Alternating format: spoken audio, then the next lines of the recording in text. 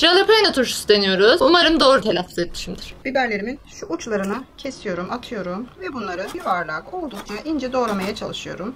Doğradığım biberlerimi temiz bir kavanozun içerisine şöyle koyuyorum. Biberlerimden koydum. Aralarına da ara ara sarımsak koyacağım. Bu kavanozu ağzına kadar dolduracağım. Kavanozlarımızı doldurduk ağzına kadar şöyle sıkıştırarak. Ben birer tane şöyle kesme şeker atıyorum hepsine de. Küçüğüne yarım, büyüklerine de şöyle birer tatlı kaşığı limon tuz atıyorum ilk önce. Küçüğüne gene şöyle yarım kaya tuz atıyorum. Büyüklerine de birer çorba kaşığı atıyorum. Bu yöntemle ben iki senedir yapıyorum turşularımı. Daha önce pek beceremiyordum turşu yapmasını. Ama bu yöntemi çok sevdim. Yarım çay bardağı sirke katıyorum küçük olanına. Büyük kavanozlarıma da birer çay bardağı katacağım. Benim sirkem elma sirkesi. Bunun yerine üzüm sirkesi de olur fark etmez. Bir çaydanlık kaynar suyum var.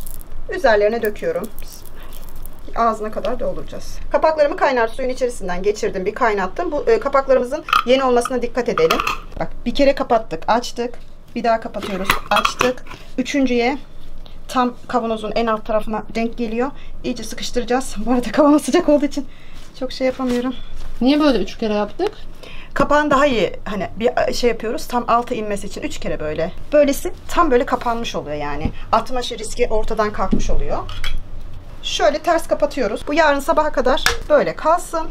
Yarın sabah bunları normal haline getireceğiz. Sonra da saklayacağız. 15 günde falan olur herhalde. Sabaha kadar turşularımız böyle ters bir şekilde bekledi. Şimdi çeviriyoruz. Renkleri dönmüş. Böyle sanki turşu olmaya yakın bir şey olmuş. Şu kapaklarına dikkat ediyoruz. Kapaklar şöyle içine göçmüş olacak. Hepsi de tutmuş benim kavanozlarımın. Dolaba falan koymaya gerek yok. Dışarıda bekliyor. Çünkü kapakları tuttu. Bir sıkıntı yok. Açtıktan sonra bence hani dolaba koyup o şekilde tüketebiliriz.